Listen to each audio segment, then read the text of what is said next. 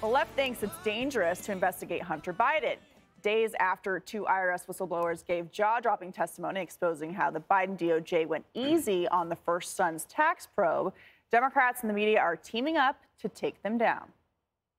The circus has come to town with the House GOP. And what's dangerous about this is that the American people and their needs are not part of their agenda. And they want to focus on this political theater.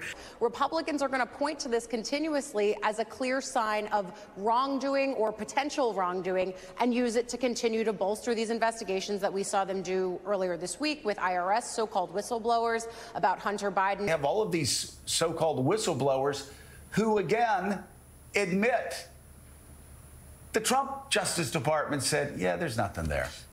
Oh. So, speaking of that testimony, tune into Special Report right after the five for an exclusive interview with IRS whistleblower Joseph Ziegler. Here he is responding to Democratic attacks. Several of the Democrats on the committee said these are just the kind of dust ups that investigators and prosecutors have. You're not always going to be on the same page. Is that accurate? Criminal investigations, when you work a criminal case, there's a thing called willfulness, whether someone intentionally, with knowledge, either evaded their income taxes or filed a false return. And that's what one thing that sets us apart from a civil case.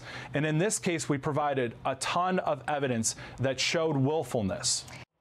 Democrats are also really not going to like this. An unclassified FBI document released yesterday by Senator Grassley exposes an alleged bribery scheme involving both Joe and Hunter. The memo claims the then Vice President Biden and his son coerced the CEO of Burisma to pay them $10 million in exchange for help in getting the Ukrainian prosecutor investigating the company fired. The New York Post publishing this op ed calling for a special counsel to investigate the allegations. So, Judge, it's interesting because you read through that FBI document that was released yesterday that was obtained by Grassley through a whistleblower because the FBI refused to turn it over for months on end. And it reads more like Joe was demanding payment mm-hmm. rather than Burisma offering bribe. The interesting thing is the 1023 that you referred to that the FBI was reluctant to hand over. Initially, they said they didn't have it. Okay, so now Grassley releases it. We have a copy of the 1023. And the amazing part of it is uh, Zlochevsky, who is the guy who was in Burisma, who's paying out the money. He says that the Bidens were paid through so many different bank accounts, it would take investigators 10 years to unravel. Okay, and now you've got Comer and the rest of them, and they say all this money, the 17 million and the 10 million, is from one bank. So we haven't seen all of it yet. And the amazing part of this is now we know, according to this verifiable FBI confidential informant who was paid upwards of $200,000 by the FBI because they believed in what he said. It was effective in prosecutions. He says there are up to 17 tapes. Two of those tapes include the voice of Joe Biden. And he talks about the fact that um, in Europe, this guy Zlochevsky hired someone to cover him in Europe. And in the United States, he hired Hunter Biden to protect us through his dad from all kinds of problems. And he says Hunter is so so dumb that this guy's dog is smarter than Hunter. And so you look at this and you say, and, and, then you hear someone who just said, I saw it on the sound there, that this was during the Trump administration and um, that they didn't do anything with it. The truth is, or that they passed on it. Yeah, they said nothing. The truth is that they weren't aware of what was going on, that the FBI kept this close to their vest. They didn't investigate this. Even though Bill Barr was the United States attorney, no one moved on this, which is why they were so willing to say, we don't have it. Yeah. But it's all here. It's everything that you need for a prosecution. So, Jessica, would you be open to a special counsel to look into this situation? Sure. If that's what ne- what's necessary. They're like a dime a dozen now. Everyone's got one. Put a special counsel on it. But you should also take these Republicans at their word, and they've been commenting on the contents of this 1023. So Chuck Grassley has said in interviews that the bribery allegation may not be true. Ron Johnson has said, take it with a grain of salt. Congressman Chuck Edwards, who seems like the only honest Republican on the Oversight Committee, said that President Biden hasn't been implicated. Then you look at someone like Jim Comer, who's on the most embarrassing press tour and should really stop doing interviews. He's on Ted Cruz's podcast today. And Ted Cruz says, you know, what's going on here? And he says, well, Biden's been selling access for dec- decades. And Ted Cruz responsibly says, well, how do you know that? And Jim Comer says, if you study Joe Biden like I have, he's always been cash strapped.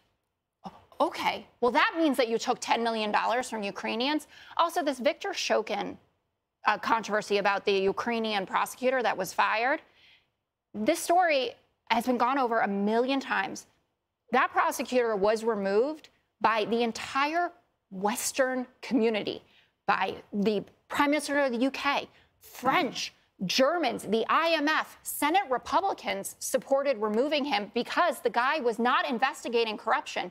It actually ended up hurting Burisma to remove Victor Shokin from his position. And I see you're snickering, and you'll go next, and I get it. and I'll try to interrupt you, and it probably won't be uh, won't be allowed, or you'll say you'll have I some. haven't interrupted you. I, I'm just previewing what will come. You can't pre-buttle an interruption. Did you guys want to order did. the appetizers? Because we, I have to go work on my other table. I'm done. All right. Well, Yeah, listen, I don't okay, want a special counsel. I want impeachment proceedings. Oh. All right. Ooh. These people, they say this is political theater. They did two time. years on January 6 hearings, ignoring inflation and high crime. And then the guy says so-called whistleblowers. What's a so-called whistleblower? He means a whistleblower. And then they say Trump justice said nothing there. No, No, they went in and May 2020, Barr looked at it, sent it to Delaware, where it died, where everything dies. And so you got a highly credible informant who's been with the FBI for decades, and he submits this report saying that this guy's bragging about having to bribe 10 million to the Biden family to get this prosecutor fired, and he's got 17 tapes. Joe's on two of them, Hunter's on 15 of them, and they say it's unverified. Yeah, you're right, Jessica. It is unverified. Let's go verify it. Let's investigate Everything's unverified if it's a claim. They vet- took the dossier, an unverified dossier, used it to get a wiretap on the Trump campaign. They didn't say uh, unverified. They just said this guy's dirty because he's Russian. That's bogus. Another thing.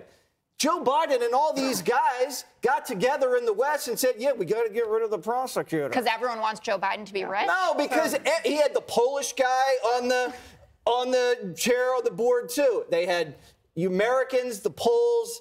You know how this works, So, Jessica. Greg, they get so defensive about this because if it were just Hunter Biden, they would let it go and let him go. But it gets too close to Joe Biden, which is why they get so. I feel kind of bad for Hunter. Uh, I've been thinking about this a lot. You know, he didn't have any idea that his dad was going to actually run for president, so he did his job, which was to get Joe rich. He made it rain, right? If he thought 2016 was the last year, I'm going to make us some money. I'm going to be swimming in prostitutes and crack for the rest of my life.